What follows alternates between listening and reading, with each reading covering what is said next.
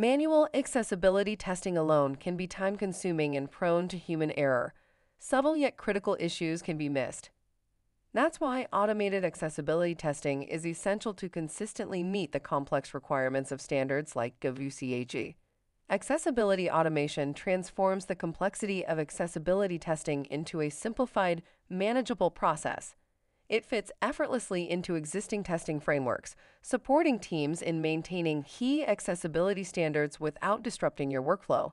Let's dive in to see how it works. Set up your automated test suite to configure and test your own project. For this demo, let's use a sample repository. The link to the sample repository is provided in the description below. To enable accessibility testing within your automated test suite, set accessibility true in your configuration file.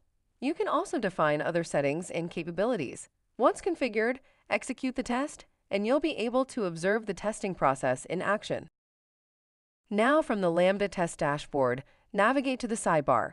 If you haven't signed up for LambdaTest yet, find the link in the description below. From the sidebar, choose Web Automation under the Automation tab. Select the tests you've executed. Once the test loads, Click on the Accessibility tab to view the generated report. Then proceed to click on Get Full Report to access Detailed Report. Here, under Issue Summary, you will be presented with an Issues Breakdown report. Next, head to the All Issues tab, where you will see a list of all detected issues along with their severity levels. Select the issue you want to check to gain in-depth access to details about the issue and the affected elements.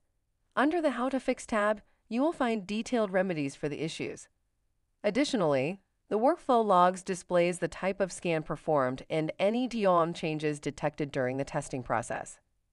That's it. Dive in to discover how accessibility automation can effortlessly enhance testing and accessibility checks.